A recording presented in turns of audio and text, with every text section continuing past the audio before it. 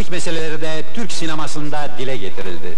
İlk defa 9 üniversiteli genç, lise gençliğinin problemlerini bütün gerçekleriyle Gençlik Köprüsü'nde beyaz perdeye aktardı. Gençlik Köprüsü. Okul, okul, okul! Yeter artık! Niye her şeyime karışıyorsunuz? Kendi yolumu kendim seçmek istiyorum ben! Sus lan hergele! Ben seni bunca sene hocalarını dövesin diye mi okuttum? Bu ne rezalet? Okusanıza şu gazeteyi. Nasıl? Güzel söyledim mi?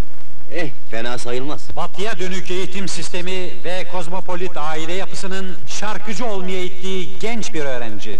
Çağımız gençliğinin bitmeyen bunalımı ve düzenin yanlış işleyen çarkı içinde ezilip kendine yepyeni bir nizam arayan genç adam. Burjuvazinin katı ve çürümüş kuralları ile bir merhamet nizamının sevgi dolu yaşayışı arasında bocalayan genç bir kız. İnandığı gerçekleri yazdığı bir kompozisyonda dile getirdiği için okul idaresince suçlanan bir öğrenci. Bilek gücünü zekasıyla değil, hisleriyle kullandığı için anarşiye alet edilen bir genç.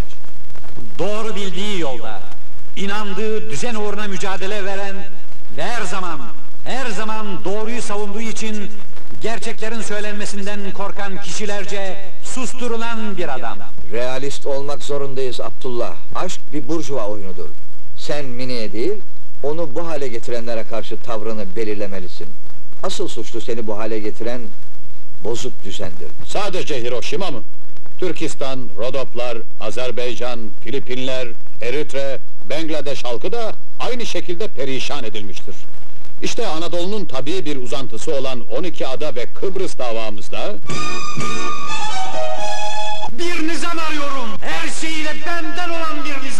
Ve Türk sinemasında yepyeni bir konu.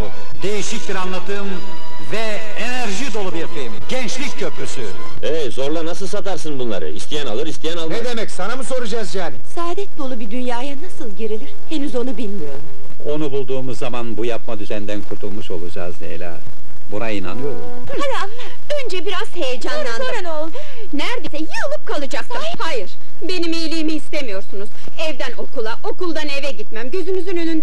Ayrılmamam sizin istediğiniz. Ama artık kendi yolumu kendim çizeceğim. kesilen kol yerine gelmez.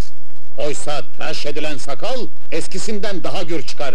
İşte bizim için Kıbrıs budur arkadaşlar. Fikre saygı bu mu? Fikrin yayılmasını gazeteyi yırtmakla halledemezsiniz. Kökü dışarıda olmayan fikir getirin asalım. Gençlik Köprüsü.